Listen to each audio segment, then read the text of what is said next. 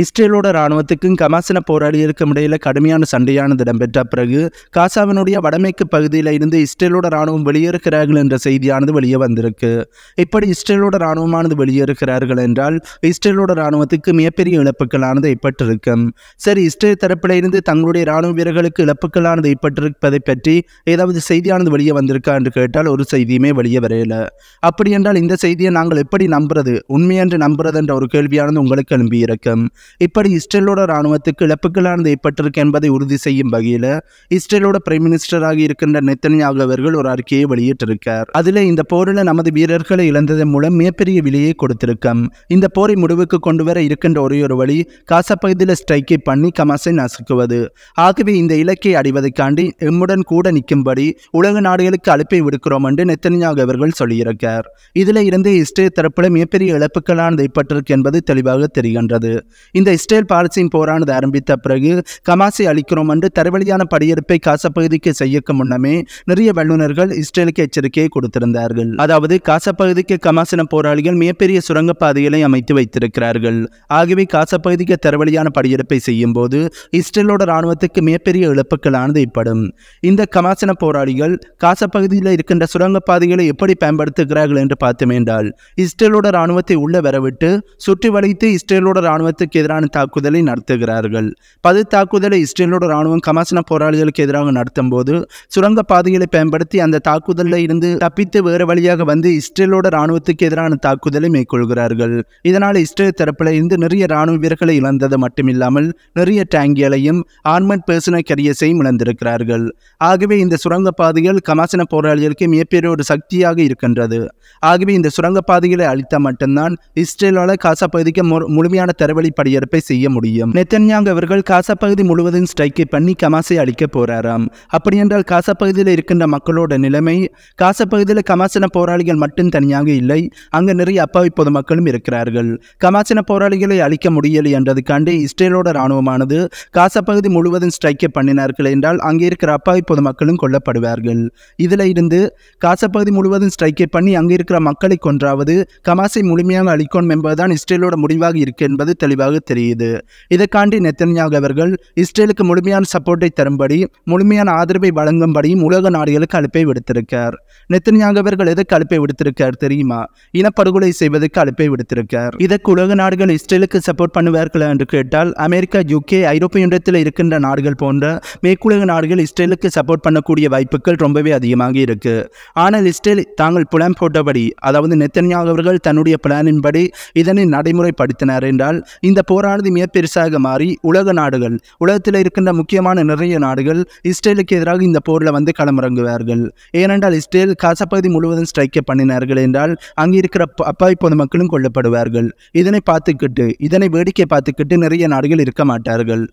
அதுவும் முழுமையான அழிவை சந்திக்கும் போது காசா பகுதியானது முழுமையான அழிவை சந்திக்கும் போது நிறைய நாடுகள் இஸ்ரேலுக்கு எதிராக இந்த போரில் வந்து களமிறங்குவார்கள். இதே நேரத்தில் இஸ்ரேலோட ராணுவமானது காசா பகுதிக்கு இருக்கின்ற கமாசோட சுரங்க பாதைகளுக்கு கடன் நிறை அனுப்ப ஆரம்பித்திருக்கிறார்கள். இஸ்ரேலோட இந்த திட்டமானது வெற்றி அளிக்குமா என்று கேட்டால் அது ஒரு சந்தேகமாகத்தான் இருக்கு. இஸ்ரேலோட இந்த திட்டமானது தோல்வி அடைந்தது என்றால் நெத்தன்யாங்கு அவர்களோட திட்டம் தான் நடைமுறைப்படுத்தப்படக்கூடிய வாய்ப்புகள் ரொம்பவே அதிகமாக இருக்கு. ஆகவே நெத்தன்யாங்கு அவர்கள் தன்னுடைய திட்டத்தை நடைமுறைப்படுத்தினார் என்றால் அது கண்டிப்பாக மூன்றாவது உலகப் போரை தூண்டுவிக்கும் என்பதுதான் நிதர்சனமான உண்மையாக இருக்கு. இது போன்ற இஸ்ரேலுக்கும் பாலஸ்தீனத்துக்கும் இடையிலான போரை பற்றிய செய்திகள் மற்றும் முக்கியமான உலக நிகழ்வுகளைத்தான் இந்த வீடியோவில் பார்க்க போகிறோம் வீடியோக்குள்ளே போகிறதுக்கு முன்னே நம்ம சேனலை சப்ஸ்கிரைப் பண்ணி பக்கத்தில் இருக்க பெல் ஐக்கானையும் கிளிக் பண்ணி வையுங்கள். அப்போது தான் நான் போடக்கூடிய வீடியோஸை நீங்கள் உடனுக்குடன் பார்க்க முடியும். அது மட்டும் இல்லாமல் நம்ம சேனல் அடுத்த கட்ட வளர்ச்சிக்கு போவதற்கு அது உதவியாக இருக்கும். ஆகவே நீங்கள் இந்த உதவியை செய்வீர்கள் என்ற நம்பிக்கையோட வீடியோக்குள்ளே போகலாம் சமீபத்தில் செங்கடலில் கவுதி கிளர்ச்சியாளர்கள் செய்த தாக்குதலுக்கு பிறகு செங்கடல் கப்பற்பாதையை பாதுகாப்பதற்காண்டியும் கவுதி கிளர்ச்சியாளர்களுக்கு தகுந்த பதிலடியை கொடுப்பதற்காண்டியும் சிறப்பு படையை உருவாக்க நடவடிக்கையில் இஸ்ரேலானது ஈடுபட்டிருக்கிறார்கள்.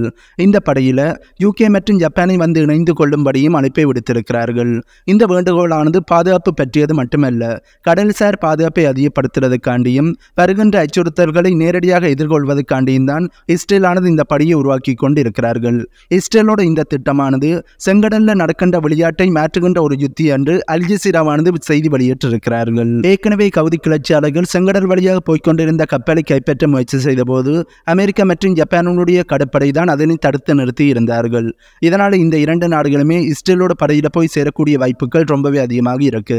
ஆனால் இஸ்ரேலானது இப்படி ஒரு படியை உருவாக்கி கவுதி கிளர்ச்சியாளர்களுக்கு எதிரான தாக்குதலை செங்கடலில் வச்சு செய்தார்கள் என்றால் கண்டிப்பாக அது பிராந்தியத்தில் மிகப்பெரிய ஒரு போராக மாறக்கூடிய வாய்ப்புகள் ரொம்பவே அதிகமாக இருக்கு. இதே நேரத்தில் கவுதி கிளர்ச்சியாளர்கள் தரையில் இருந்தும் இஸ்ரேலோட கடற்படைக்கு எதிரான தாக்குதலை அதாவது இஸ்ரேல் மற்றும் இஸ்ரேலோட நட்பு நாடுகளோட கடற்படைக்கு எதிரான தாக்குதலை மேற்கொள்வார்கள். இதனால் கவுதி கிளர்ச்சியாளர்களுக்கு இஸ்ரேல் மற்றும் இஸ்ரேலோட நட்பு நாடுகளால் ஏற்படுகின்ற பாதிப்பை விட கவுதி கிளர்ச்சியாளர்களால் இஸ்ரேல் மற்றும் இஸ்ரேலோட நட்பு நாடுகளுக்கு ஏற்படுகின்ற பாதிப்பு தான் ரொம்பவே அதிகமாக இருக்கும். ஆகவே இஸ்ரேலானது இப்படி ஒரு படையை உருவாக்குவது இஸ்ரேலுக்கு மட்டும் ஆபத்தாக இருக்க போவதில்லை அந்த பிராந்தியத்துக்கு மிகப்பெரிய ஒரு ஆபத்தாக இருக்க போது என்பதுதான் நிதர்சனமான உண்மையாக இருக்கு. காசா பகுதியினுடைய பாதுகாப்புக்கு சர்வதேச படையானது பொறுப்பேற்கணும் என்ற கருத்தை நிராகரித்து காசா பகுதியில் இந்த போரானது முடிந்த பிறகு ஆயுத களைவுக்கான கட்டுப்பாட்டை ஐடிஎஃப் தான் பொறுப்பேற்க வேண்டும். ஐடிஎஃப் தான் இந்த கட்டுப்பாட்டை வைத்துக் கொள்வார்கள் என்று இஸ்ரேலோட பிரைம் மினிஸ்டராக இருக்கிற நித்தன்யாக் அவர்கள் சொல்லியிருக்கார். அதாவது காசா பகுதிக்கு போர்க்குற்றங்களையும் இனப்படுகொலையும் செய்து கொண்டிருக்கின்ற இஸ்ரேலோட இராணுவம் தான் காசா பகுதியினுடைய பாதுகாப்பு மற்றும் காசா பகுதிக்கு ஆயுத களைவுக்கான கட்டுப்பாட்டை பொறுப்பேற்க போறார்களாம். இது காசா பகுதியில் இருக்கிற அனைத்து மக்களையுமே கொள்வதற்கு சமமாக இருக்கு. இஸ்ரேலிட்ட இந்த பொறுப்பானது போச்சுது என்றால் அதாவது காசா பகுதியினுடைய பாதுகாப்புக்கான பொறுப்பானது இஸ்ரேலிட்ட போச்சுது என்றால் ஒவ்வொரு நாளுமே காசா பகுதியில் மக்கள் கொல்லப்படுவார்கள். ஒவ்வொரு நாளுமே காசா பகுதியில் இருக்கின்ற மக்களுக்கு எதிரான தாக்குதலையும் மக்களுக்கு எதிரான துப்பாக்கிச் சூட்டையும் இஸ்ரேலானது செய்வார்கள். ஒவ்வொரு நாளுமே காசா பகுதியில் இருக்கின்ற மக்களை கைதியாக பிடித்து கொண்டு போவார்கள். இப்படி நிறைய கொடூரங்களையும் நிறைய அட்டூழியங்களையும் இஸ்ரேலோட இராணுவமானது காசா பகுதியில் செய்வார்கள். அதுக்கான வழியைத்தான் அதாவது இஸ்ரேலோட இராணுவமானது காசா பகுதியில் இருக்கின்ற மக்களை பாதுகாக்கிறோம் என்ற பேரிலேயே காசா பகுதியில் இருக்கின்ற மக்களை கொல்ல போகிறார்கள் இதனைத்தான் நெத்தன்யாக அவர்கள் சொல்லியிருக்கார். உண்மையிலேயே இஸ்ரேலோட கையில் காசா பகுதியினுடைய பாதுகாப்பை கொடுத்தால் காசா பகுதியில் இதுதான் நடக்க போகின்றது. இதுதான் நிதர்சனமான உண்மையாக இருக்கு. இப்போதே காசா பகுதிக்கு இஸ்ரேலோட இராணுவமானது என்ன செய்கிறார்கள் என்பதை நீங்களே சோசியல் மீடியாவில் கண்கூடாக பார்த்து கொண்டு இருக்கிறீர்கள் இதுவே இந்த இஸ்ரேல் பாலஸ்தீன் போரானது ஆரம்பிக்க முன்னமும் இஸ்ரேலோட இராணுவமானது காசா பகுதியாக இருக்கட்டும் மேற்கு கரையாக இருக்கட்டும் அங்கு நிறைய கொடூரங்களை செய்தார்கள். ஆனால் இந்த போரானது ஆரம்பித்த பிறகு அந்த கொடூரங்களானது பல மடங்கு அதிகரிச்சிருக்கு ஆகவே இந்த போரானது முடிவடைந்த பிறகும் இஸ்ரேலானது இந்த கொடூரத்தை தொடர்ந்து செய்யத்தான் போறார்கள். ஆகவே காசா பகுதியினுடைய பாதுகாப்பு இஸ்ரேலிட்ட போனால் காசா பகுதியில் இருக்கிற மக்களோட நிலைமையானது. படுமோசமாக போய்விடும். கமாசிட்டா இருந்து விடுவிக்கப்பட்ட பணிய கைதிகள் இஸ்ரேலோட பிரைம் மினிஸ்டராக இருக்கின்ற நெத்தன்யாகு அவர்களுக்கு எதிராக கடுமையான கருத்துக்களை முன்வைத்திருக்கிறார்கள். கமாசிட்ட நாங்கள் பணிய கைதிகளாக இருந்தபோது கமாசானது எங்களை கொன்று விடுவார்களோ என்ற பயத்தை விட இஸ்ரேலானது எங்களை கொன்று விடுவார்களோ என்ற பயன்தான் ரொம்பவே அதிகமாக இருந்தது. இஸ்ரேலோட ஐடிஎஃபினுடைய செல் தாக்குதலினுடைய அச்சுறுத்தல்களுக்கு நாங்கள் உள்ளாகி இருந்தோம். இஸ்ரேலோட ஐடிஎஃப் ஆனது எங்களுக்கு எதிரான கெலிகாப்டர் மூலம் துப்பாக்கிச் சூட்டை நடத்தி இருந்தார்கள் என்றும் இஸ்ரேலோட பிரைம் மினிஸ்டராக இருக்கின்ற நித்தன் நெத்தன்யாகு அவர்களுக்கு எதிராக கடுமையான விமர்சனத்தை முன்வைத்திருக்கிறார்கள். ஏற்கனவே நெத்தன்யாகு அவர்களோட அரசியல் வாழ்க்கையானது ஆட்டம் கண்டிருக்கு.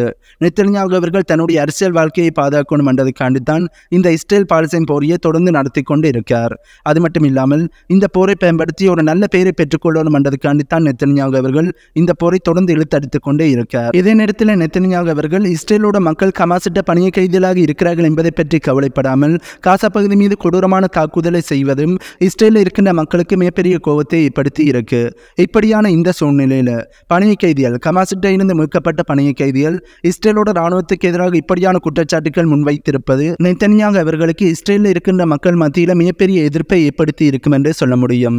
இதற்கு பிறகு நெத்தனியாக அவர்கள் தன்னுடைய அரசியல் வாழ்க்கையை பாதுகாத்துக் கொள்வது ரொம்பவே கடினமாக மாறப்போகின்றது. காசா பகுதியில் இஸ்ரேல் தங்களுடைய ஆக்கிரமிப்பை நிறுத்தும் வரையுமே எந்தவிதமான பேச்சுவார்த்தைகளோ கைதிகள் பரிமாற்றமோ இடம்பெறாது. காசா பகுதியில் இருக்கின்ற இஸ்ரேலோட பணி கைதிகளின் உயிர்களுக்கு நெத்தன்யாகு அவர்கள் தான் முழு பொறுப்பு. பரிமாற்ற ஒப்பந்தம் முழுமையாக சரியாக முடிவுக்கு வராமல் தடுத்ததுக்கும் நெத்தன்யாகு அவர்கள் தான் முழு பொறுப்பு என்று கமாஸ் தரப்பிலிருந்து சொல்லியிருக்கிறார்கள். இந்த பணியின் கைதிகளில் அமெரிக்காவோட பணியின் கைதிகளும் இருக்கிறார்கள்.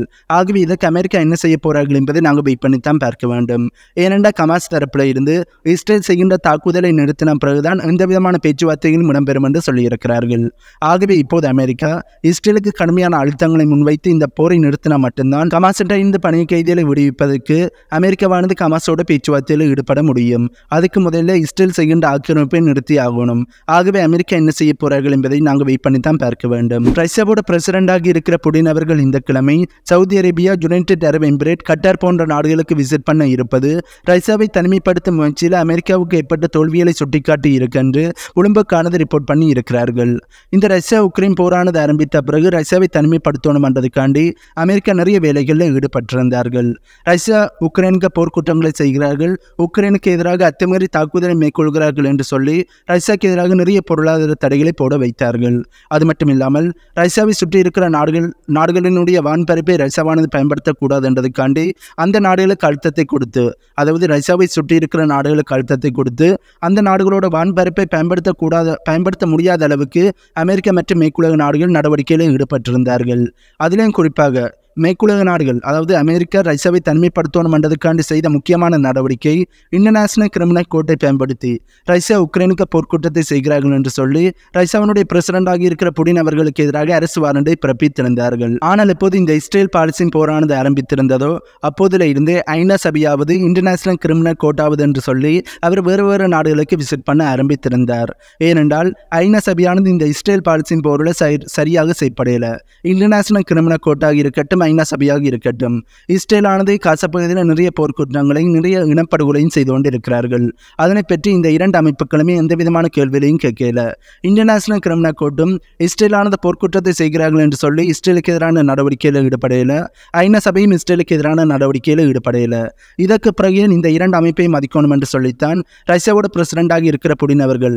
இன்டர்நேஷனல் கிரிமினல் கோர்ட் ரஷ்யாவோட பிரசிடண்டாக இருக்கிற புடின் அவர்களுக்கு அரசு வாரண்டை பிறப்பித்திருந்த போதிலும் வேறு வேறு நாடுகளுக்கு இப்போது விசிட் பண்ண ஆரம்பித்திருக்கிறார். இந்த இஸ்ரேல் பாலஸ்தீன் போரானது ஆரம்பிக்க முன்னமே ரஷ்யாவோட பிரசிடண்டாக இருக்கிற புடின் அவர்கள் சின்ன நாடுகளுக்கு விசிட் பண்ணி இருந்தார். ஆனால் இப்போது இந்த போரானது ஆரம்பித்ததோ அதுக்கு பிறகு மிகப்பெரிய நாடுகளுக்கெல்லாம் விசிட் பண்ண ஆரம்பித்திருக்கிறார். ஆகவே அமெரிக்கா ரஷ்யாவை தனிமைப்படுத்துகிற முயற்சியில் மிகப்பெரிய தோல்வி அடைந்திருக்கிறார்கள் என்பது இதில் இருந்து வெளிப்படையாக தெரிகின்றது. சரி புடின் அவர்கள் Saudi Arabia United Arab Emirate கட்டாருக்கு visit பண்ணி எதனை பற்றி முக்கியமாக பேசுவார் என்று பார்த்தோம் என்றால் இந்த இஸ்ரேல் பாலஸ்தீன் போரை பற்றி முக்கியமாக பேசக்கூடிய வாய்ப்புகள் இருக்கு. ஏனென்றால் சவுதி அரேபியாவானது இந்த இஸ்ரேல் பாலஸ்தீன் போரில் ஒரு முக்கியமான நிலைப்பாட்டை எடுக்காமல் வேடிக்கை பார்த்து கொண்டு இருக்கிறார்கள் இந்த மூன்று நாடுகளுமே வேடிக்கை தான் பார்த்து கொண்டு இருக்கிறார்கள் ஆகவே இந்த இஸ்ரேல் பாலஸ்தீன் போரில் எப்படியான முடிவுகளை எடுக்கலாம்? காசப்பகுதியில் இருக்கின்ற மக்களுக்கு எப்படியான நன்மைகள் செய்யலாம். பாலஸ்தீனத்தை தனி நாடாக அங்கீகரிப்பதற்கு என்ன நடவடிக்கையில் ஈடுபடலாம் என்பதை பற்றியும் இந்த போரை எப்படி முடிவுக்கு கொண்டு வரலாம் என்பதை பற்றியும் புடின் அவர்கள் இந்த நாடுகளோடு பேச்சுவார்த்தையில் ஈடுபடக்கூடிய வாய்ப்புகள் ரொம்பவே அதிகமாக இருக்கு. அது மட்டும் இல்லாமல் ஓயில் உற்பத்தியை கட் பண்ணுவது அதனுடைய உற்பத்தியை அதிகப்படுத்துவது என்பதை பற்றியும் அவர்கள் பேசக்கூடிய வாய்ப்புகள் ரொம்பவே அதிகமாக இருக்கு. அதில் முக்கியமாக புடின் அவர்கள் சவுதி அரேபியாவோடு இந்த ஓயில் கட்டை பற்றி பேசக்கூடிய வாய்ப்புகள் தான் ரொம்பவே அதிகமாக இருக்கு. இஸ்ரேல் மற்றும் உக்ரைனுக்கு அதிகமான மிலிட்டரி எய்டு கொடுப்பதற்கான மூடிய நாட்டில் இருந்து சில குடியரசு கட்சியை சேர்ந்த செனட்டர்கள் வெளியேறி இருக்கிறார்கள். ஏனென்றால் காங்கிரஸ் கட்சியினர் அமெரிக்காவில் சட்ட விரோதமான குடியேற்றங்களை தடுப்பதற்கான தங்களுடைய வேண்டுகோளை நிறைவேற்றுவதில் அதிகமான விருப்பத்தை காட்டல இதனால தான் நாங்கள் வெளியேறி இருக்கோம் என்றும் அவர்கள் சொல்லியிருக்கிறார்கள். இதே நேரத்தில் அமெரிக்காவோட கருவூல செயலாளர் உக்ரைனுக்கு தேவையான அதிகமான மிலிட்டரி ஈடுபக்கச்சை இப்போது கொடுக்காட்டி உக்ரைனோட தோல்விக்கு அமெரிக்கா தான் முழு பொறுப்பு என்று சொல்லியிருக்கார். அமெரிக்கா இந்த ரஷ்யா உக்ரைன் போரானது ஆரம்பித்த போதே உக்ரைனுக்கு போலியான வாக்குறுதிகளை கொடுக்காமல் இருந்திருந்தால் இந்த ரஷ்ய உக்ரைன் போரானது இப்போ முடிவுக்கு வந்திருக்கும். ஆனால் அமெரிக்கா தேவையில்லாமல் உக்ரைனுக்கு வாக்குறுதியை கொடுத்து உக்ரைனை அடிவாங்க விட்டுட்டு இப்போது உக்ரைனை ஏமாற்றி இருக்கிறார்கள். ராணுவ தேவைகளுக்கு பயன்படுத்தக்கூடிய எக்யூப்மெண்ட்ஸ் மற்றும் உதிரி பாகங்களை ரஷ்யாக்கு ஏற்றுமதி செய்கின்ற வெளிநாட்டு தனிநபர்கள் மற்றும் சட்ட நிறுவனங்களுக்கு எதிராக யூகேவானது இன்றைய தினம் பொருளாதார தடைகளை அமுல்படுத்த போறோம் என்று யூகேவோட ஃபாரின் மினிஸ்ட்ரி ஆபீஸ் ஆனது சொல்லியிருக்கிறார்கள். இப்படி ரஷ்யாவுக்கு எதிராக பொருளாதார தடைகளை போடணும் என்றால் இந்த போரானது ஆரம்பித்த போது இந்த பொருளாதார தடைகள் தடைகளை போட்டிருக்கணும். ஆனால் இவ்வளவு நாளும் இந்த பொருளாதார தடைகளை போடாமல் இப்போதுதான் இந்த பொருளாதார தடைகளை யூகேவானது போட போறார்களாம். ஆகவே யூகேவானது உண்மையாகவே ரஷ்யாவுக்கு எதிராக பொருளாதார தடைகளை போடணும் என்ற நினைப்போடு தான் இருக்கிறார்களா என்ற ஒரு கேள்வியானது இப்போது பலர் மத்தியில் எழும்பியிருக்கு ஆனால் இதில் இந்த ஒரு விஷயம் மட்டும் தெளிவாக தெரியுது. யூகேவானது உக்ரைனுக்கு தேவையான சப்போர்ட்டை கொடுக்குறோம் கொடுக்குறோம் என்று சொல்லி உக்ரைனை ரொம்பவே ஏமாற்றிக் கொண்டு இருக்கிறார்கள் என்பது மட்டும் தெளிவாக தெரிகின்றது. ஏனென்றால் உக்ரைனுக்கு முழுமையான சப்போர்ட்டை உண்மையாக கொடுத்திருந்தால் இந்த பொருளாதார தடைகளை இப்போது போடுகின்ற பொருளாதார தடைகளை இந்த போரானது ஆரம்பித்த போதே ரஷ்யாவுக்கு எதிராக போட்டிருப்பார்கள் ஆனால் அதனை செய்யாமல் இப்போது செய்வதை வச்சு பார்க்கும்போது யூகேவானது உக்ரைனை ஏமாற்றிக் கொண்டு இருக்கிறார்கள் என்பது வெளிப்படையாக தெரிகின்றது. வீடியோவை முடிக்க முன்னம் அனைவரிட்டையும் ஒரு பணிவான வேண்டுகோள். இந்த இஸ்ரேல் பாலிசின் போரை பற்றிய உண்மை செய்திகளை வெளிப்படையாக சொல்லுகின்ற சேனல்களுக்கு நிறைய பிரச்சனைகள் வருவதாகவும் அந்த சேனல்கள் எப்போ வேணாலும் முடக்கப்படக்கூடிய வாய்ப்புகள் இருக்கின்ற பயமானது நிலவி வருகின்றது. ஆகவே அந்த ஒரு சூழ்நிலை எங்களுடைய சேனலுக்கு மேற்படக்கூடிய வாய்ப்புகள் ரொம்பவே அதிகமாக இருக்கின்றபடி இருக்கின்றபடியால் நாங்கள் ஒரு பேக்கப் சேனலை கிரியேட் பண்ணி வச்சிருக்கோம் அந்த சேனலுக்கான லிங்கை கீழே டிஸ்கிரிப்ஷனில் கொடுக்குறோம். கிளிக் பண்ணி சப்ஸ்கிரைப் பண்ணி வையுங்கள். அந்த சேனல்லையும் ரஷ்யா உக்ரைன் போர் இஸ்ரேல் பாலஸ்தீன் போரை பற்றிய செய்திகள் மற்றும் பல முக்கியமான வீடியோக்களை அப்லோட் பண்ணுவோம். ஆகவே மறக்காமல் அந்த சேனலை சப்ஸ்கிரைப் பண்ணி வையுங்கள்.